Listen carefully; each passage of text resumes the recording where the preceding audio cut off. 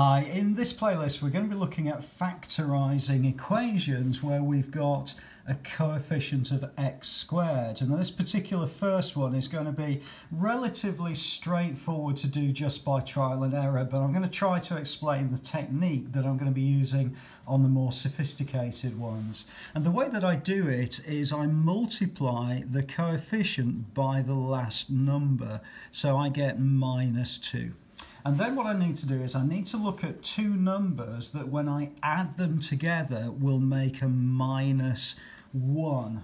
Uh, that's minus x or minus 1x. Now those two numbers are going to be minus 2 and positive 1 because if I add together minus 2 and positive 1 I get minus 1 and that's what I want for that. Okay, now it's a case of rewriting this and the way I'm going to rewrite it is I'm going to write 2x squared so that bit doesn't change and then I'm going to write minus 2x plus 1x. So basically this part here is actually minus x. So minus 2x plus 1x will give me minus x. And then I've got minus 1 on the end. Okay, so when you've written that out, what you need to do then is look at the first two terms and factorise them, and then the second two terms and factorise those. Okay, so let's write it out again. So I've got 2x squared minus 2x plus 1x minus 1. And what I'm going to do is I'm going to look at the first two terms and I'm going to factorise those for 2x because 2x is the biggest um, the highest common factor, if you like, of 2x squared and 2x.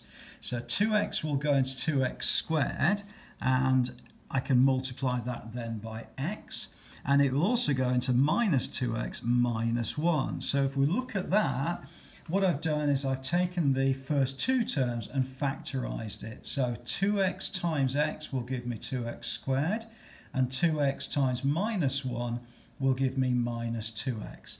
Let's do exactly the same exercise now with the second two terms. So with the second two terms, I'm going to factorise those for plus 1. Because if I do that, I end up with x minus 1.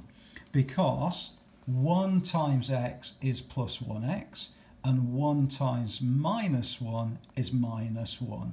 Okay, so hopefully you can see now that what I've done is created this situation where this term and this term are common.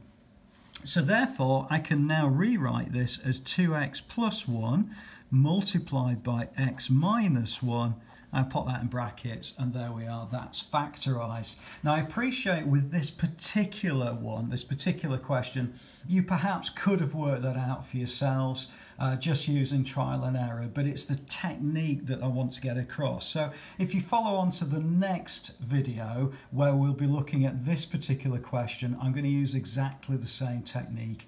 Uh, for, to solve and factorize that question. I hope it's proved useful to you. Please do add a comment below if you're not sure, and I look forward to seeing you inside the next video.